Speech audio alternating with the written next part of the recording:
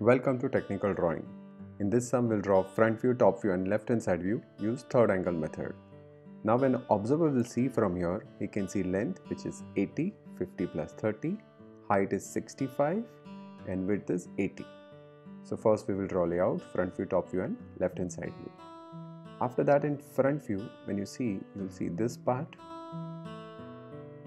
then you will see this part, right? then this slope see this. So we need to draw that slope first. So we'll take 20 always remember in orthographic always draw the slope first. So we'll go down by 20 go down like this. Then we'll take height 20 and we'll join this slope. So it is very important some from the technical drawing point of view. Slope is very important. After that this is 50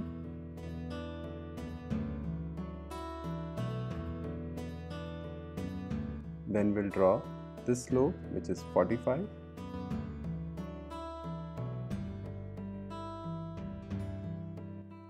after that in top view you will see this L shape right then we'll see this rectangle and this L shape again which is slope. So first we'll start with that L. We'll project like this. So in engineering drawing it is very useful. They can ask you such kind of sums. See this L shape is done. Then this rectangle.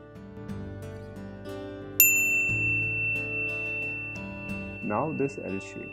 So that will project from here which is 30 we'll go up by 30 and we'll draw this. So we are done with top view as well.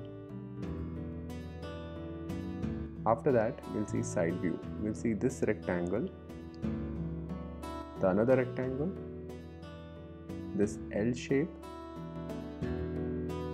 this small rectangle and this rectangle so we'll start with this rectangle. We'll project from front view.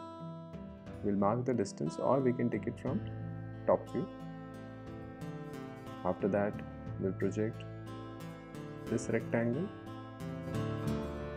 The bottom one, see this.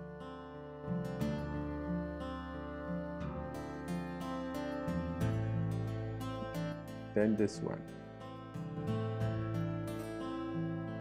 Slope which we will get automatically.